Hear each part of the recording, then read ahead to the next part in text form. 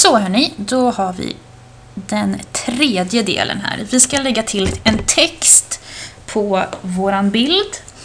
Eh, vi har ju nu haft två bilder från början. En på den här tjejen som är i förgrunden och sen så på de här böckerna som är i bakgrunden.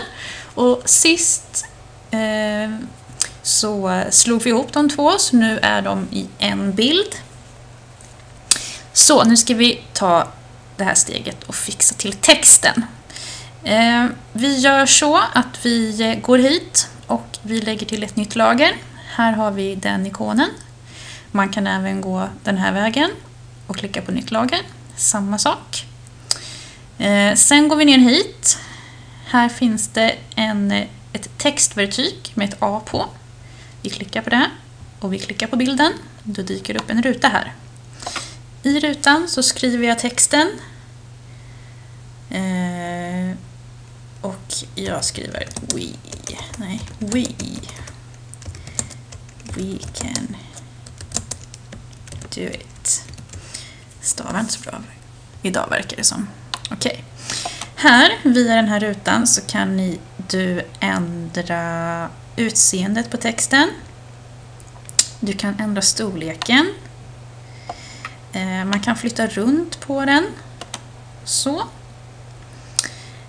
Eh, vi kan ändra så att den blir fet istället och flytta lite.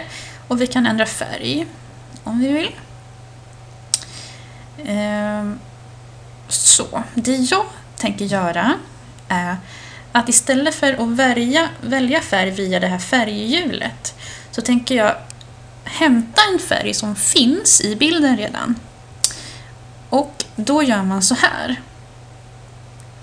Eh, att man använder den här färg, färgväljarvertyget och jag vill ha den här röda färgen som vi ser här uppe på hennes scarves eller bandana eller vad man ska kalla det för. Och så klickar jag där. Och då ser man att här nere så dyker det upp ett färgprov. Eh, det kanske blir mörkare om jag tar där, då blir den mörkare. Men jag vill ha den där. Så. Fördelen med att ta en färg som redan finns i bilden är att då känns det som att bilden hänger ihop på ett annat sätt. Eh, svart här blir väldigt hårt och det liksom sticker ut. Så därför så väljer jag att göra så. Eh, om man dubbelklickar här då, där mitt färgprov dök upp, så ser man här. Eh, här bredvid så dyker det upp en kod. Det är den exakta koden för den färgen som jag har valt här. Det jag gör för att den färgen ska hamna på bokstäverna sen, det är att jag markerar och jag kopierar. Så jag trycker Ctrl C. Och sen OK. Sen går jag tillbaka här. Dit. Så att jag har rätt verktyg, klickar på textverktyget. Klickar här igen. Och så klickar jag på färg. Sen här ser ni, ser det likadant ut, men här så är det bara en massa nollor för det är vad svart har. Och nu så ska jag kopiera in min kod och så håller jag nere Ctrl och V och då dyker den upp. Och så trycker jag OK. Så, nu har jag fått samma färg där. Känner jag mig nöjd och glad med. Ytterligare en sak vi kan göra med texten. Jag skulle vilja ha som en liten skugga bakom här. För nu försvinner den liksom lite in i hennes tröja. Så, det man kan göra då, det är att man klickar på Layer Styles här. Den här lilla ikonen. Och så ser man till att man är på rätt lager, men det är vi. Så. Då har man några olika grejer här. Eh, man kan, om man kryssar i dem så ser man hur de ser ut. Eh, man kan ha skugga inuti och man kan ha skugga bakom. Och det är den som jag är intresserad av.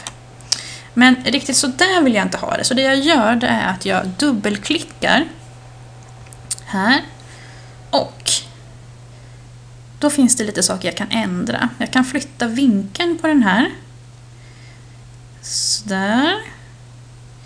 Eh, jag kan ändra här hur pass hård den här är. Jag vet inte varför, storlek, varför det står storlek här, men ni ser ju vad som händer om jag drar i reglaget.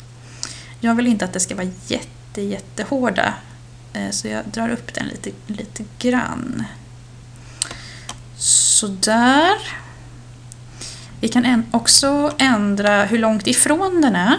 Jag vill att den ska ligga ganska nära så att man knappt ser att den finns där.